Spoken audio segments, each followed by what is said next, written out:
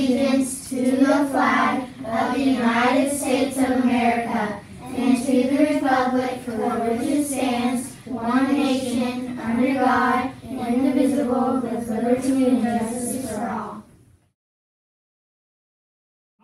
Okay.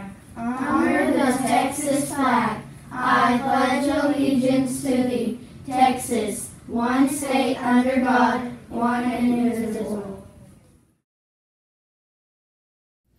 Time Spring Intermediate. Well, I'm here to bring you your answer to your trivia question. So the trivia question was, what word in the English language is always spelled incorrectly?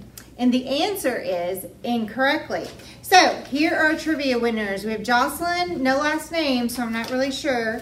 Kiki Barti, Courtney Emerson, Emmy Alvey, uh, Ariana Spector, whoops, Aiden Kelly, and Monique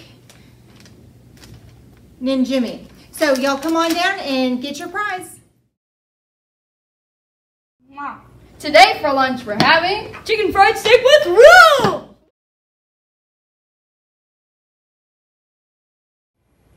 Good morning, guys. Today is Friday, August 31st, and we want to say a very special happy birthday to Mrs. Elkins, Lakin Fielding, Annabelle Jakubik, and Gavin Smithson. Y'all have a great day.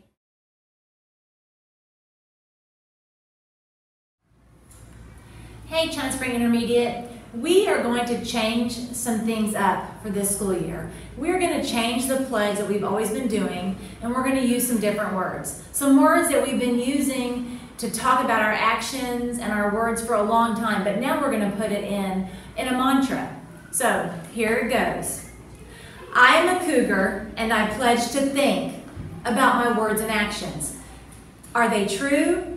Are they helpful? Are they inspiring? Are they necessary? Are they kind? I will think today.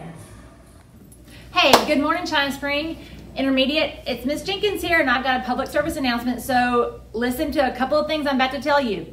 One, Thank you, thank you, thank you for already getting on those A plus cards. So excited. That's how I buy the extra stuff like recess equipment and iPads and iPencil. So sell those A plus cards, but be safe. Thank you so much for getting your family and friends to buy those. Message number two, box tops.